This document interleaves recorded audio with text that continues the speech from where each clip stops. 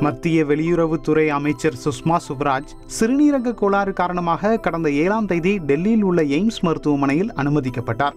அவருக்கு சிறுநீரக செயலிழப்பு ஏற்பட்டுள்ளதால் சிறுநீரக மாற்று அறுவை சிகிச்சை செய்வதற்காக மருத்துவ பரிசோதனைகள் மேற்கொள்ளப்பட்ட நிலையில் சுஷ்மா சுவராஜிற்கு தனது சிறுநீரகத்தை தானம் செய்ய போக்குவரத்து காவலர் ஒருவர் முன்வந்துள்ளார். போபாலில் போக்குவரத்து காவலராக பணியாற்றும் கௌரப் டாங்கி என்பவர் சுஷ்மா சுவராஜின் உடல்நிலை சரியில்லாதது குறித்து வெளியான செய்திகளை பார்த்து தானாக உதவ முன்வந்துள்ளார்.